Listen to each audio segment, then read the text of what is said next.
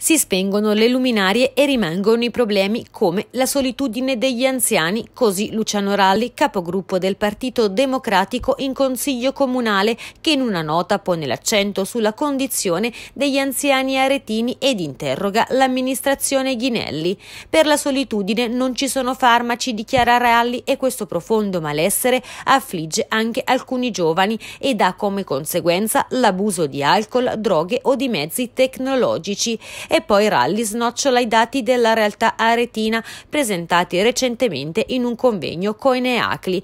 Ad Arezzo la popolazione anziana è circa un quarto del totale, 25.000 persone. Di queste ben 10.000 vivono sole. Se poi vogliamo immaginare come, riflettiamo su altre due cifre. Il reddito medio da pensione nel territorio si aggira sui 750 euro mensili e gli anziani non autosufficienti sono circa 2.100.